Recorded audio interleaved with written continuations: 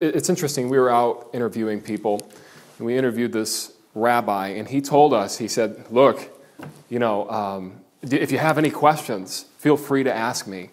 And I said, Well, is it possible that we could turn to Isaiah 53 and look at the prophecies of what the Christians would consider to be the Messiah? I obviously didn't say that to him. I said, Can we just turn to Isaiah 53? You know, and this rabbi didn't even know where it was. I kind of had to help him find it, and that's kind of sad. Uh, but when we got there, he opened it up to Isaiah 53, and I remember him, you know, real slowly, you know, to whom is the arm of the Lord revealed? And he got down to the part where it says, He was bruised for our iniquities, and by his stripes we're healed. And he closed it up real fast. He says, he says, Oh my, we better put this away because you might be thinking that's Jesus Christ. You might get people thinking that that's the Lord Jesus Christ. So that's the power of the scripture, is just the scripture speaks for itself.